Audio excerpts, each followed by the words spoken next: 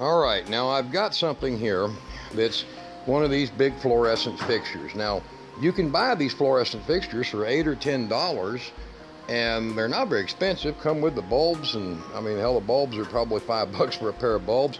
Come with ballast and everything else in it. And this is a four foot fixture. Now what i've done with it is i've removed all the fluorescent things in it and instead i have installed the light strips and the light strips that are in as you can tell the rest of the hardware is still all here for the fluorescent. But the light strips I'm using that wire chase that clips on and I've stretched it out a little so when it's snapped in it's permanent. And these are the little 32 SMD bulbs fairly bright actually for what they are. This whole wattage pull is about nine and a half watts. It's less than an amp. It's roughly about three quarters of an amp. And you compare that to a regular 1157 bulb that don't produce a third as much of this light and it pulls about 28 watts which is 2 amps. Now this wire that's in here right now will be getting hooked up to what is called an all-night light which is just a strip of this that's going to run on this side and it'll just be a row of about six of these little LEDs and it's just going to go right here. And because I live off grid pulling a basically a microwatt. It's not going to hurt on the batteries all night to just have this lit up. When I want it lit up more, I have a pull chain I'm putting in right here that's going to fire it up and run it. Now right now, I have it just hooked up to a little uh, cigarette lighter plug so I can show you how this works. Now, all together, you can go down, believe it or not, to your metal recycling places and they will have these light fixtures as many as you want. And what you do is you bring down metal in the back of your truck or car.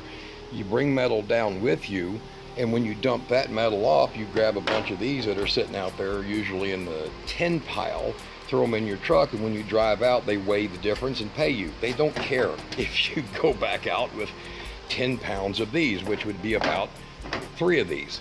Um, so, I picked these up at the scrapyard. And this light, let me get over here. I'll go over here and plug it in. All right, and this light now, it's quite a bit brighter than most lights that you'll see uh, in this category, if there is one. There, now that's quite bright. You see what it did to the camera. Now, as far as how bright it is, let's look at that. Or let's look down here at the floor. You see? Pretty damn bright. Now, I am building myself about 10 of these. And I've actually collected more. So I'm building myself about 10 of these so that like in here where my jacuzzi is out here in the shop, that I will be able to put them up on the roof. And there's already the wire that's ran for it. And up here in the roof, it will be nice and bright, so we won't have to use anything off the inverter. When you when you use power off your inverter, you do a lot of conversion. You take DC, convert it to AC. There's losses, wire loss, conversion loss, and then you feed it through your wiring. A little bit of loss there, and then it's there. However, this this seven watt bulb actually requires the use of about 17 watts of your battery bank. And this, however, 9 watt light, which is actually a little brighter than that for this room, this uses 9 watts plus a little loss because I am about uh, 16 feet through 12 gauge wire back to the batteries.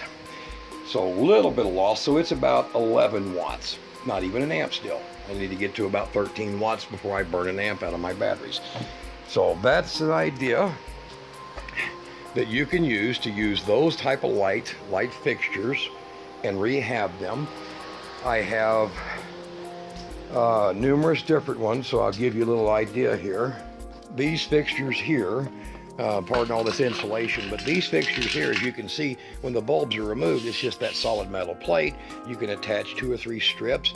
You can put a pull chain here and one here, have the center strip running uh, for general light purposes. Pull, pull the oven and have all of it running and probably be about 15 watts, but it would be just as bright as you need with very little power. That way, when you're running your big battery banks and stuff, you don't pull your power down through conversion. So that's an idea, and I would recommend that you use those fixtures and recycle them.